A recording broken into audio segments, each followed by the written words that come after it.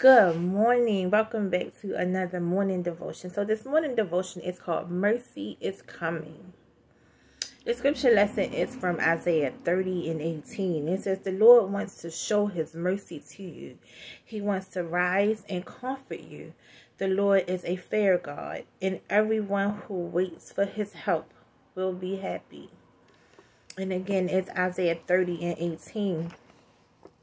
And the devotion says, In the light of God's mercy, there is joy and peace. When the space between promise and fulfillment lingers longer than we hope, how do we cope? Do we cling to trust, finding courage in God's faithfulness wherever we can? Jesus is so very patient in love.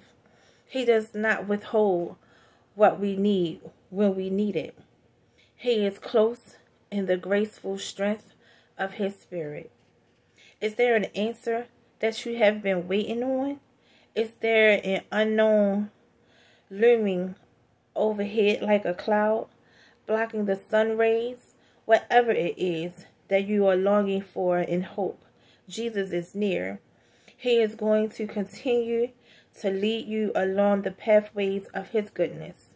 May you find more strength and courage than you can imagine in the persistent presence of his peace. He rises to comfort you. He covers you in shadows of his wings.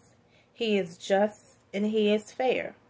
Wait for his help, for he will come through for you. And again, this devotion is called Mercy is Coming.